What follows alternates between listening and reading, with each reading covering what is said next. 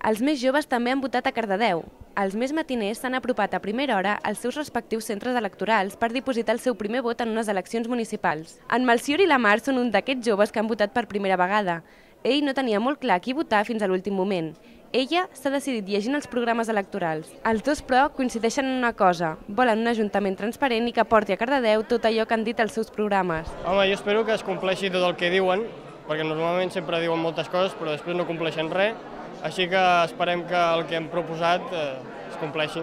Home, jo espero que compleixi els, el que ha posat al seu programa i, bueno, típic, transparència, que faci bé, aquestes coses. L'Òscar és un jove de 20 anys al que li ha tocat seure per primera vegada en una mesa electoral.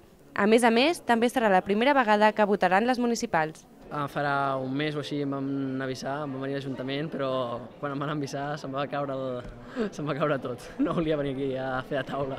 Per lo menos els meus companys són divertits i per lo menos estem passant bé el temps.